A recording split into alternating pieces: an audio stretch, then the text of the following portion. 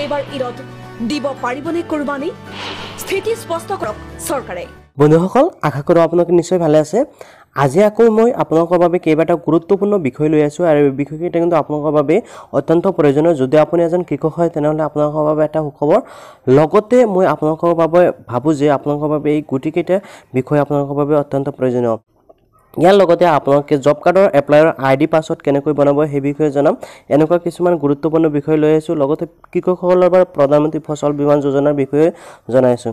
চবসকল মই প্ৰথমতে প্ৰধানমন্ত্ৰী ফচল বীমা যোজনাৰ বিষয়ে জনাইছোঁ। কিয়নো চৰকাৰৰ তৰফৰ পৰা আপোনালোকৰ বাবে হাণ্ড্ৰেড পাৰ্চেণ্ট ফ্ৰী কৰি দিছে প্ৰধানমন্ত্ৰী কিষাণ যিটো ফচল বীমা যোজনা এই যোজনাটো।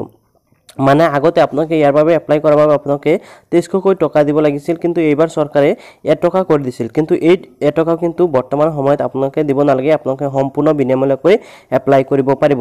আৰু যদি আপোনালোকে প্ৰধানমন্ত্ৰী ফচল বীমা যোজনাত আবেদন কৰিব বিচাৰে তেনেহ'লে আপোনালোকে মাজত মাত্ৰ দুটা দিন অৰ্থাৎ আজি আৰু কালিৰ দিনটোতে আপোনালোকে এপ্লাই কৰিব পাৰিব আৰু আপোনালোকে সম্পূৰ্ণ বিনামূলীয়াকৈ কৰিব পাৰিব। আৰু আপোনালোকে যদি এপ্লাই কৰিব বিচাৰে তেনেহ'লে আপোনালোকে কি কৰিব লাগিব? আপোনালোকৰ ওচৰত থকা চি এছ চি চেণ্টাৰত যাই আপোনালোকে এপ্লাই কৰিব পাৰিব। আৰু আপুনি কিন্তু কোনো ধৰণৰ এটকাও দিব নালাগে। আপোনালোকে জাষ্ট কি কৰিব আপোনাৰ নথি পত্ৰখিনি যেনেকুৱা মাটিৰ খাজনা ৰচিদ তাৰপিছত আপোনাৰ voter card bank bank account যিটো আছে সেইটো আপোনালোকে ফটোষ্টেট কৰি এইখিনি ডকুমেণ্টছ লৈ আপোনালোকে জমা দিলেই হৈ যাব। আপোনালোকে কোনো ধৰণৰ টকা দিব নালাগে। কিন্তু চি এছ চি যিসকল বি এল আছে সেইসকল কিন্তু টকা চৰকাৰৰ তৰফৰ পৰা পাব। আপোনালোকে হয়তো ভাবিব পাৰে যে যিসকলে এপ্লাই কৰি দিব তেনেহ'লে তেওঁলোকৰ কি লাভ হ'ব? তেওঁলোকৰ লাভ আছে কিয়নো এটাই এপ্লাইৰ বাবদ চৰকাৰৰ তৰফৰ পৰা তেওঁলোকে একৈছ টকাকৈ পাই থাকিব। সেয়েহে আপোনালোকে কোনো ধৰণৰ টকা পে' কৰিব নালাগে নালাগে জাষ্ট আপোনালোকে সম্পূৰ্ণ বিনামূলীয়াকৈ কিন্তু এইবাবে এই যোজনাৰ বাবে আবেদন কৰিব পাৰিব। প্ৰধানমন্ত্ৰী ফচল বীমা যোজনা আপোনালোকে মন কৰিব অন্তত আপোনালোকে স্ক্ৰীনশ্বট মাৰি থৈ দিয়ক এইটো প্ৰধানমন্ত্ৰী ফচল বীমা যোজনা। এইটো আপোনালোকে সম্পূৰ্ণ বিনামূলীয়াকৈ ইয়াৰ বাবে আবেদন কৰিব পাৰিব। আৰু এই যোজনাত আবেদন কৰিলে যদি আপোনাৰ খেতিত কোনো ধৰণৰ প্ৰাকৃতিক দুৰ্যোগৰ কাৰণে আপোনাৰ খেতি বেয়া হয় তেনেহ'লে আপোনালোকে ষাঠি হাজাৰ টকা লাভ কৰিব। তো আপোনালোকে নিশ্চয় বুজি পাইছে।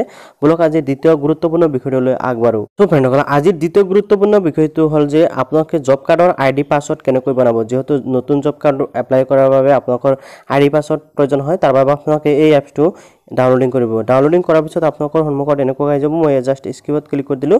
তাৰপিছত আপোনালোকৰ সন্মুখত এনেকুৱা আহিব। অহাৰ পিছত এই ওপৰত যিটো থ্ৰী ডট দেখিবলৈ পাইছে এই অপশ্যনত ক্লিক কৰিব। ক্লিক কৰি আপোনালোকে একদম শেষত দেখিবলৈ পাব তলৰ ফালে লগ ইন অপশ্যন এটা আছে। আপোনালোকে ইয়াতে ক্লিক কৰিব। ক্লিক কৰাৰ লগে লগে চাওক ইয়াতে লগ ইন কৰাৰ বাবে চাৰিটা পাছৱৰ্ড খুজিছে। আপুনি যিহেতু কৰি বনাব লাগিব তাৰ বাবে আপোনালোকে এই ৰেজিষ্টাৰ অপশ্যন যিটো দেখিবলৈ পাইছে ইয়াতে ক্লিক কৰিব। ক্লিক কৰাৰ লগে লগে আপোনাৰ মোবাইল নাম্বাৰ নাম এড্ৰেছ এড্ৰেছ তাৰপিছত ষ্টেট ডিষ্ট্ৰিক্ট এইটো হাৰিয়ানা চিলেক্ট হৈ আছে আপোনালোকে। হাৰিয়ানাৰ পৰা অন্যান্য কৰি ল'ব আপোনাৰ যিটো হয় এইটো ধৰক আছাম।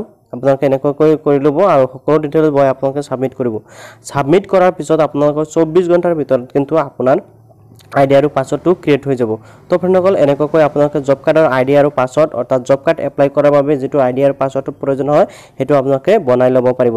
চ' ফ্ৰেণ্ডসকল আশা কৰোঁ আপোনালোকে নিশ্চয় বুজি পাইছে। বোলক আজিৰ অন্তিম গুৰুত্বপূৰ্ণ বিষয়টো লৈ।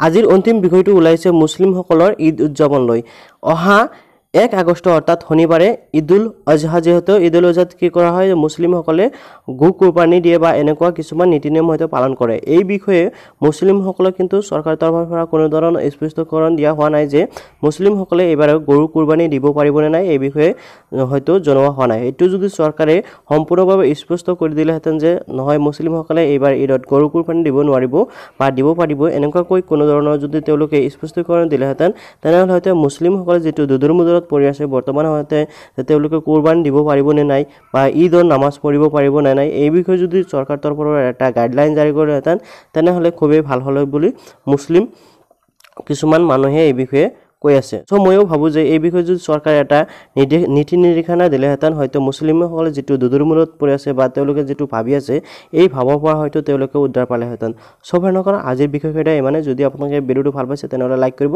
আৰু আগলৈ এনেকুৱা হেল্পফুল ভিডিঅ'সমূহ সদায় পাই থাকিবলৈ চেনেলটো ছাবস্ক্ৰাইব কৰি দিব